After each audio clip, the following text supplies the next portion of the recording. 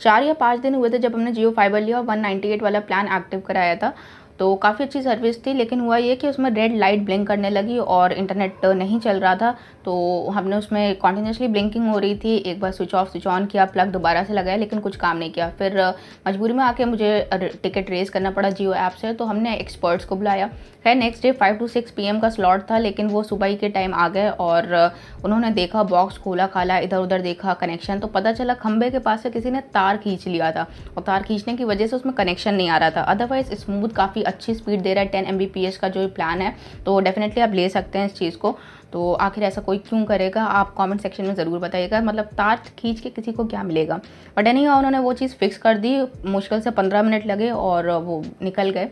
काफ़ी free service है, काफ़ी अच्छी सर्विस है। एंड डेफिनेटली अगर आप सोच रहे हैं इस जियो फाइबर लगाने का तो आप ज़रूर से लें।